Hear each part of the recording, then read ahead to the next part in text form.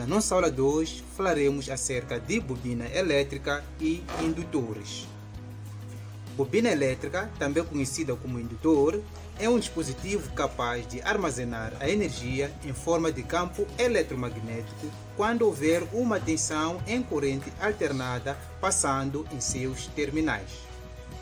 Assim, uma bobina consiste em nada mais que em espiras de ferro em torno de um núcleo eu tenho aqui o exemplo dessas bobinas e a primeira bobina, desse lado aqui, é, chamam, chamamos de bobina terodial e tem um núcleo de ferrite. O mesmo com essa bobina e esta aqui tem o mesmo núcleo, o núcleo de ferrite e tem a mesma função que outras bobinas. Temos também a bobina com o núcleo de ar, que é essa bobina aqui, o núcleo é de ar, porque não tem nada lá dentro, né? assim como consegue ver na imagem, chama-se bobina uh, a núcleo de ar. Outro exemplo de bobina núcleo de ar é essa aqui, que trabalha em placas de alta tensão, ok? Temos também eh, bobina radical. Esta aqui é uma bobina radical, também tem um núcleo de esta aqui também é uma bobina radical, tem um núcleo diferente também. É, as bobinas estão dentro do seu, seu corpo, né? no seu interior, mas o seu corpo já vem revestido aqui com essa camada de plástico né? para a proteção. A outra bobina, que normalmente vem dentro de um campo eletromagnético, é esta aqui. Falaremos um pouco mais acerca dele mais tarde. Este componente aqui é o transformador, mas também não deixa de ser uma bobina. Essas espiras, quando percorridas por uma tensão eh, ou uma corrente elétrica alternada, têm propriedades elétricas bem interessantes, que podem ser usadas em diversos circuitos elétricos. Uma delas é de gerar um campo eletromagnético quando há uma tensão alternada em seus terminais. O exemplo, assim como falava agora, era dessa bobina, né, que é um transformador. Lembram na aula que falamos acerca dos transformadores? Que temos o rolamento primário e o rolamento secundário? E também falamos que não há nenhum contato entre as duas bobinas, a bobina primária e a bobina secundária.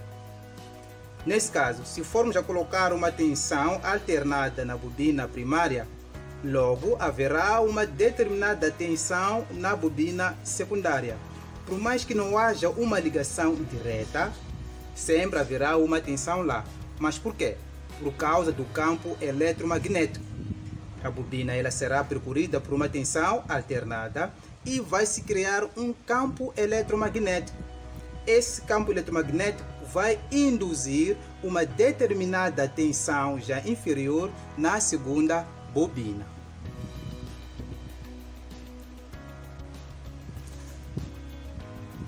O outro componente é este aqui, em forma de um resistor.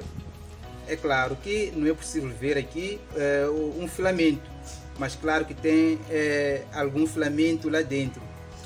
Este pequeno componente chama-se é, indutor ou podemos chamar de bobina auxiliar, ok? A função eh, deste componente é a mesma que eh, outros indutores, que vou apresentar aqui eh, alguns exemplos mais tarde, ok? quero falar um pouco acerca deste aqui, que é uma bobina que geralmente fica dentro de um campo eletromagnético. Olha, quando uma bobina está dentro de um campo eletromagnético variável, induz uma tensão em seus terminais. E a partir disso, podemos fabricar geradores de energia, motores elétricos, transformadores e milhares de outras máquinas elétricas que funcionam com a indução. O exemplo também é o transformador, né? Trabalha com indução. E temos essa bobina aqui, que fica dentro né, é, dessa armadura aqui, né, podemos chamar de é, de, de motor ou de dínamo, ok? Já que falei há bocado que quando uma bobina ela está dentro de um campo eletromagnético ou está dentro do ímã, vai criar ou vai gerar uma certa tensão em seus terminais quando formos a girar a própria bobina. O exemplo disso é o, é o motor, né? É o motor de, de energia, ou podemos chamar de gerador de energia. Né? É, o motor vai girando né? por causa da, da, da, da gasolina, vai mover né? o motor e nos seus terminais é, vai libertar uma determinada carga, porque teremos ali dois motores. O primeiro motor tem a função de provocar a rotação do segundo motor. Repare que o segundo motor não está ligado a nada, somente há ali uma correia, ok? Que vai ligar no primeiro motor. Esse mesmo motor vai girar, né, por causa da, da, da gasolina ou de diesel, vai girar e vai provocar a rotação do segundo motor. E o segundo motor vai libertar uma determinada carga em seus terminais. É aí que temos a tensão alternada, ok? Um exemplo deste, né, eu coloquei aqui uma lâmpada, uma lâmpada LED, e eu vou girar com uma determinada força aqui a bobina, e a bobina vai libertar uma determinada carga, né, aqui em seus terminais. Essa pequena tensão que vai ser liberada aqui na traseira vai fazer essa lâmpada acender. Claro que terão que prestar bastante atenção porque o fenômeno não vai durar muito tempo, ok? Vou aqui fazer a experiência. Ó, acender ali ligeiramente. Ó, deixa aqui desligar a lâmpada. Muito bem. Vou aqui girar, olha só. Ó, é assim que é fabricado né? o alternador do carro. Deixa eu ligar aqui a minha luz. É, eu falava aqui do alternador que vai carregar a bateria do carro. Há um tempo atrás eu ficava a me perguntar, mas como que uma bateria carrega dentro de uma viatura? Porque eu nunca vi ninguém né, carregar bateria para mandar carregar, ok? Então, eh, eu fui descobrindo que na verdade a bateria se carrega sozinho no carro, mas o que faz com que isso aconteça é o próprio é, alternador, não é? O alternador tem a função de carregar a bateria. Mas por quê? Porque tem uma correia né, que vai ligar, eh, que vai conectar direto uh, no motor e vai diretamente para o alternador, ok? Quando o motor ele gira, vai provocar aquela rotação e por causa da, da correia que está conectada, logo eh, o alternador também vai começar a girar. E quando gira o alternador, e quando gira o alternador, vai se libertar uma determinada tensão aqui e essa tensão vai diretamente para a bateria, ok? E quando o carro estiver andando, andando, andando, andando, a bateria vai se carregar, ok?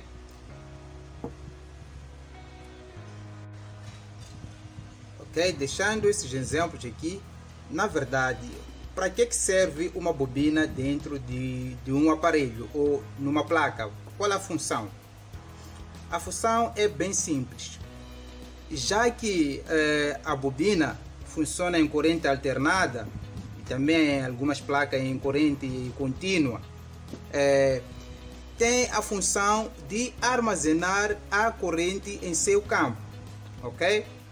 Então, mas para que, que serve? Ou por que ou para que eh, a bobina vai armazenar essa tensão?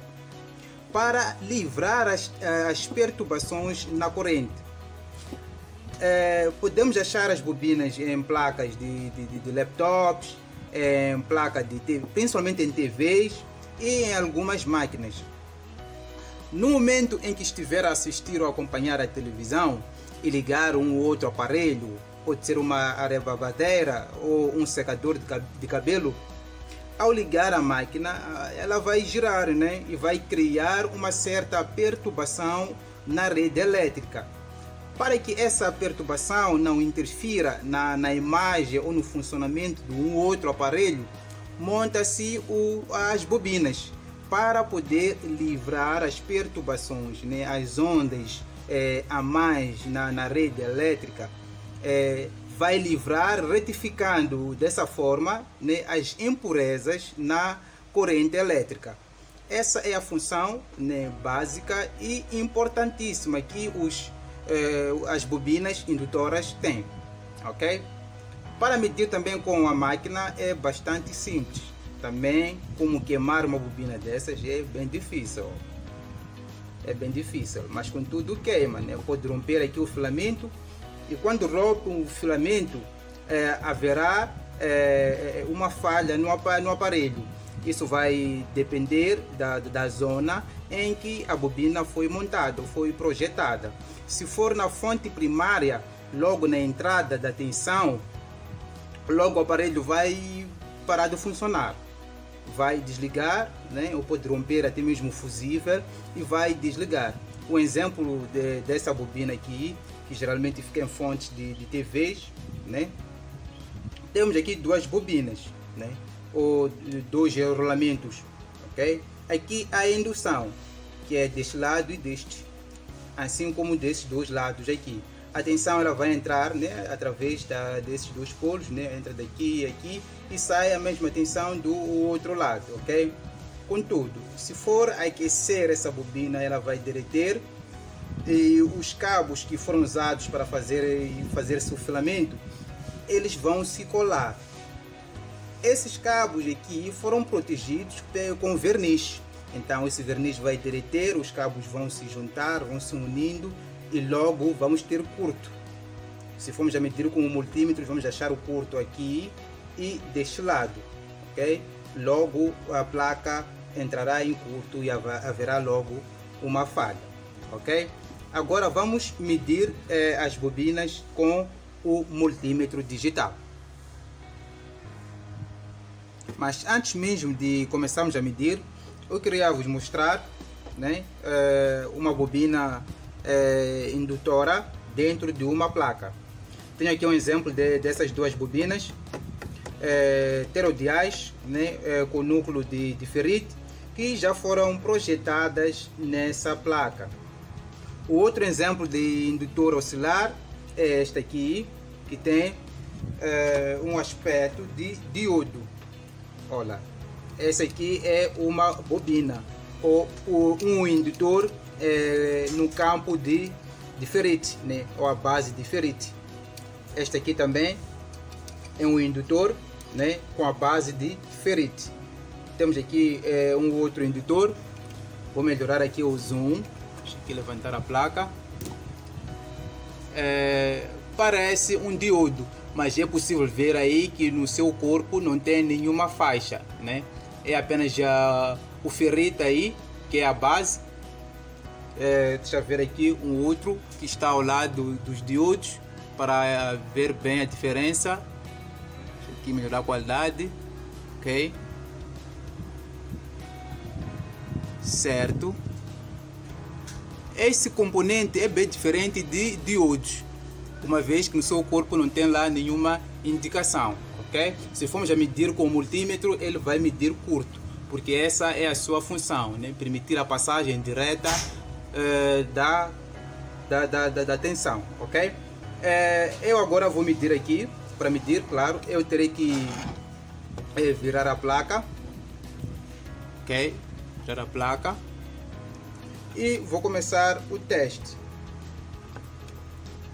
Aqui sei que a tensão ela vai entrar a partir de, de, dessas duas entradas, né? vai entrar uma tensão alternada, uma tensão AC, e logo essa tensão vai transitar para o outro lado, né? vai passar nessa posição, ok? É nesta posição e nunca jamais nessa posição aqui. Se for a passar assim, haverá curto nessa entrada logo a placa vai entrar em curto, vai é, abrir o fusível e vai impossibilitar a, tensão de entrar na placa, ok? Com o multímetro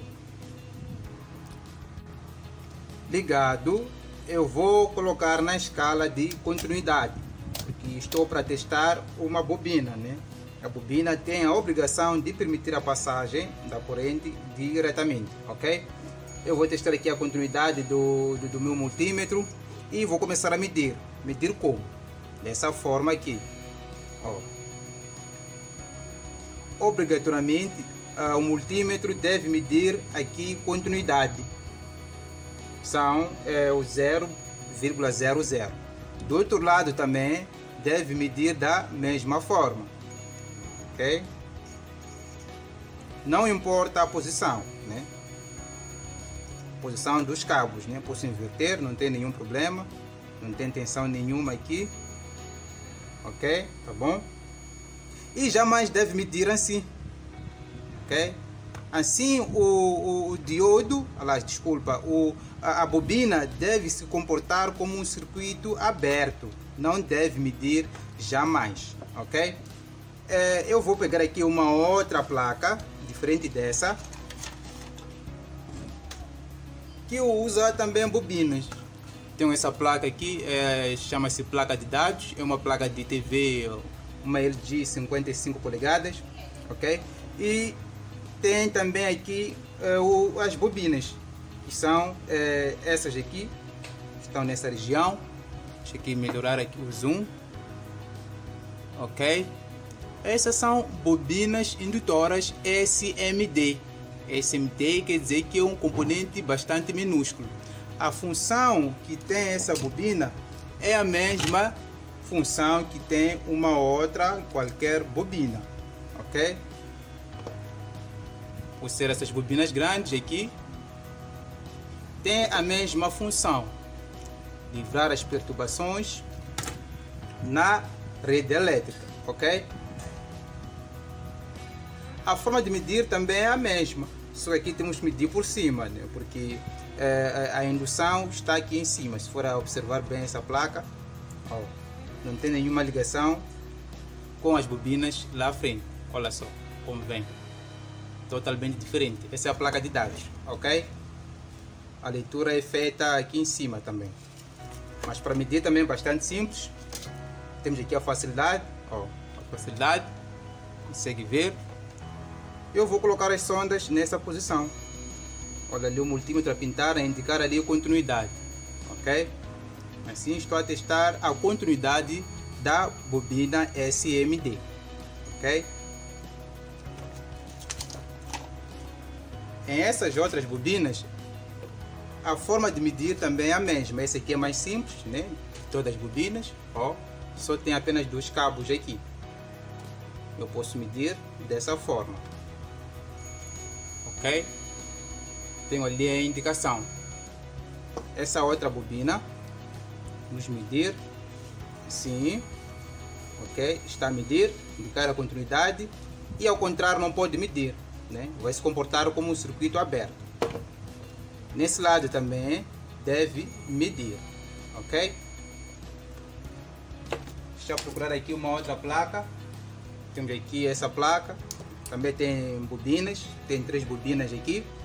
Tem essa aqui a bobina terodial, também um núcleo de ferrite. Temos essas duas outras bobinas que o núcleo também é de ferrite. A forma de medir é a mesma, né, que outras bobinas. Se eu for virar aqui, aqui é mais fácil de, de fazer a leitura, ok? É mais fácil fazer a leitura. A bobina ela deve permitir a passagem direta uh, desse ponto para este, assim como deve passar, permitir a passagem da, da, da, da, da tensão deste polo para este polo aqui. A outra bobina, que é esta aqui, já é um pouco contrário, né? deve passar, permitir a passagem da corrente, essa corrente que vai sustentar aqui é, é, é, o, essa a ponte retificadora, aqui a minha luz. É, e repare que essas duas bobinas estão em paralelo, né? Vemos aqui que a tensão ela parte desse ponto para este e vai diretamente sustentar é, o outro ponto da, da outra bobina. É, este outro ponto aqui ela vai é, passar aqui pelo termistor. Termistor também é o, um indutor. Eu vou virar a placa para mostrar. Ok? A tensão ela parte daqui diretamente para este polo e vai também sustentar o outro lado da bobina. O termistor é este pequeno componente aqui, né? Este aqui, deixa eu melhorar aqui o zoom, é um termistor. Termistor é passagem, né? Vai permitir a passagem direta de eh, tensão. Não há muita diferença que esses indutores aqui, ó, esses dois indutores aqui, ok? Aqui, esses dois indutores no campo diferente. Não tem muita diferença com o termistor, ok? Se vamos medir os terminais do termistor, eh, vão medir o curto, que indica a passagem direta da tensão, ok? Eu vou virar aqui a placa e vou comprovar isso com a máquina, ok? A passagem a, da tensão é essa, ok? Vai aqui a tensão diretamente para a outra bobina, ok? E nessa outra bobina vai tirar a tensão aqui que vai alimentar a ponte retificador. Olha só. E aqui a indução, né? A, a, a tensão ela vai entrar diretamente. Ok? E no outro ponto, a tensão vai partir daqui para este lado, ok? E através do termistor vai ser derivada diretamente para o outro lado, aqui, ok? Então vai diretamente para a bobina, que é a outra bobina a segunda bobina e vai tirar a a mesma tensão para a ponte retificador, ok? Este é o funcionamento da bobina. Não há lá muita coisa para se falar de, da, da, das bobinas indutoras, mas temos que ter muita consideração e muito respeito né, com a função da, da bobina. Principalmente nessas bobinas, né, essas aqui em forma de, de, de com um campo diferente que geralmente vem nas fontes primárias eh, em alta tensão, essa zona aqui na fonte primária, que tem o costume de queimar e perder o verniz. E quando isso acontece, vai derreter e vai criar eh, aquele mau contato, né? vai unir os pontos, causando assim o curto em toda a placa. Ok?